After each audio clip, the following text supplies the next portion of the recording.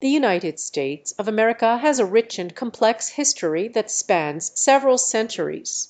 From the American Revolution to the Civil War, and from the Civil Rights movement to the present day, the U.S. has been shaped by a variety of events and individuals that have left an indelible mark on the nation.